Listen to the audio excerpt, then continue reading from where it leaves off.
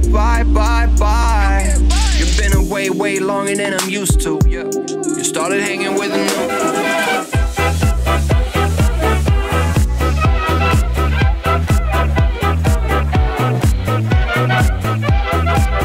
Een hele goede morgen mensen. Maïsje is al onderweg met pakketjes en ik ook, want we hebben hier een hele auto vol. Die gaan we allemaal eerst even langsbrengen. Kijk, dit zijn al die witte pakketjes. Oh my god, het zijn er zoveel die we nu gaan langsbrengen. En volgens mij zijn ze echt niet blij met ons bij de post. Maar ja, dat moet nou eenmaal gebeuren. We gaan daarna in één keer door naar Rotterdam, want daar hebben we een hele toffe afspraak. Ik zal in de auto nog wel even uitleggen hoe en wat, want we hebben heel veel haast. Vandaar dat Maïsja dus ook al weg is. Smash even dat duimpje omhoog en dan gaan wij snel even dit allemaal inladen. We zijn in Rotterdam en ik ga jou meteen vertellen waarom wij hier zijn. Wij gaan namelijk jureren voor games. En nu denk zo, ha, jureren voor games, waar heb jij het nou weer over? Nou, ik heb het over dat wij naar de hogeschool gaan. Tenminste, het is de hogeschool toch? Hogeschool van Rotterdam. de Hogeschool van Rotterdam. En daar zijn drie groepen aan studenten.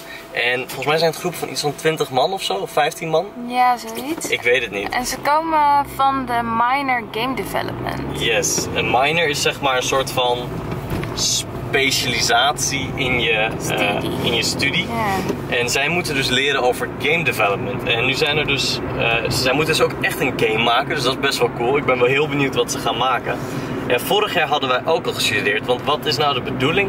Eh, ze hebben nu vijf weken lang gewerkt aan een game. Ik moet ondertussen een beetje op de weg letten, jongens. Rotterdam is echt super drukjes. Ik zie volgens mij daarachter de Erasmus. Zie je de Erasmus? Oh ja. Ik denk niet echt dat het te zien is op camera, maar... Ik vind dat wel een mooi ding. Ik Ja, vind dat super wel eh, vet. een mooie brug. En Vince kijkt erop uit, toch? Met zijn Ja, ja, Vince. cool. Oh ja, ik moet echt weer met Vince naar Los Angeles. Volgende week doen Vince als je kijkt. Nee, maar zij moeten dus een game maken en ze hebben daar vijf weken tot nu toe voor gehad. En dit is een beetje een tussentijds, eh, ja, hoe zeg je dat? Puntje. Be- beoordeling een tussentijdse beoordeling inderdaad. En eh, ja, wij moeten eigenlijk gaan vertellen wat we van de game vinden. En eh, omdat wij natuurlijk zelf in de gaming scene zitten.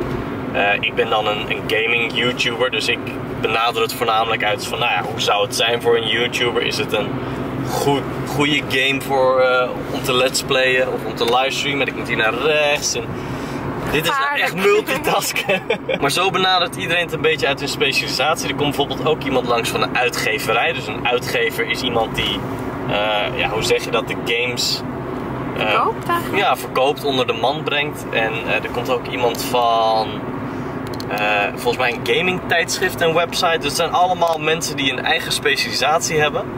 En die gaan dus eh, een beetje feedback geven. En volgens mij zijn wij bij de hogeschool. I'm down for the long run now. Red Corvette and my drop top down. Calling up my digits in my Motorola. De zak van Sinterklaas, Sinterklaas, Sinterklaas. De zak van Sinterklaas ligt ergens in een garage. Hé, hey, dat was echt best goed. Geef me props voor die improvisatie. Bam, wat doet zo'n zak hier nou weer, joh? Het is zo random. Wat zou erin zitten? Oh my god. nu gaan we snel richting de school om eh, de presentaties bij te wonen. Ik ben echt heel benieuwd wat ze dit jaar gaan maken. How do you get by, by, by? You've been away way longer than I'm used to. You started hanging with a new crew. We zijn net terug van de presentatie en het was echt onwijs leuk om al die projecten te zien. Het is... Mevrouw, wat bent u aan het doen? Ik heb geen kleingeld. Ga eens weg. Hé. Hey. Jongen, jongen, jongen. Ik had wel een hele vieze ruit, dus misschien maar goed dat, eh, dat we het even schoonmaken. Maar de presentaties waren in ieder geval onwijs leuk. Ze hadden dus al vijf weken gewerkt aan een game. En er waren drie verschillende soorten games. En ik ga ze heel, heel snel even aan jullie uitleggen. Er was één game, de allereerste die jullie misschien ook zagen. Dat was een soort van trap game. Het idee was dat je eh één tegen één speelde. En dat je traps voor de andere persoon eh, klaar moest leggen. Terwijl je allebei naar iets toe moest. Je had iets wat je zelf weer terug moest halen. Alleen de andere persoon legde dus traps neer zodat je niet bij kon komen. En jij ook. Dus degene die als eerste dan erbij was, die had gewonnen. Ik ga even de deur dicht doen voor Marisha. Het Het is zo koud. is inderdaad heel koud. Echt. Eh, de tweede game was een soort van simulator voor badmeester, denk ik. Ja, want het was een soort van training. Ja. eh, je moest zeg maar op stage gaan en dan moest je eh, mensen helpen. Maar het was inderdaad een training voor lifeguard. Ja, zo zeiden ze. Dus Een badmeester. Oh ja. Je had daar eigenlijk dat mensen bijvoorbeeld door de hitte van de zon konden ze verbrand raken. Dus moest je parasoltjes openzetten zodat ze in de schaduw konden zitten.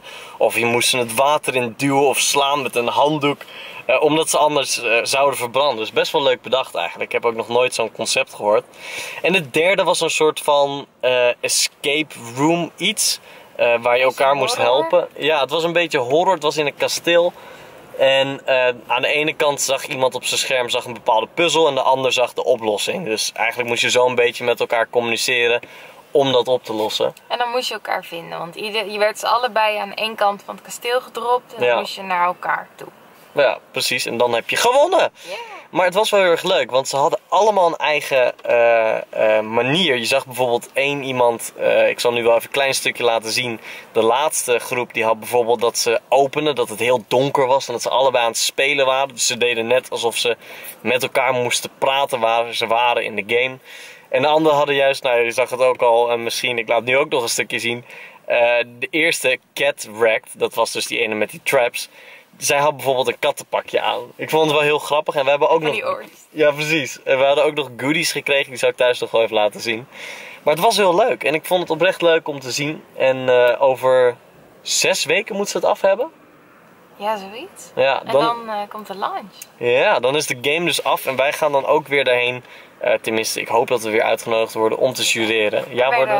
Oh, we werden nu al Ja. Wij gaan dus ook weer de games bekijken, net als vorig jaar. En ik ben heel benieuwd wat ze doen met de feedback. Want iedereen was best wel eh, Kritisch. kritisch. Maar kritisch. dat is maar goed ook. Dan kunnen ze in ieder geval iets goeds aan doen. Maar nu gaan we naar huis. Eh, we gaan nog even een pepermuntje scoren voor Maisha. En voor mij ook, omdat we lekker trek hebben in een pepermuntje. Want we hebben net gegeten. En ze hadden bij het restaurant gewoon geen pepermuntjes. Dus dan mis je die smaak, kans. echt. Ze hadden wel pepernoten, maar wie eet er nou na eten pepernoten? Veel te sterk. De Ja, precies. De smaak is veel te, te hard. Ja. Te hard, te heftig, te, te alles. Dus, eh, poeh, ik ben een beetje moe.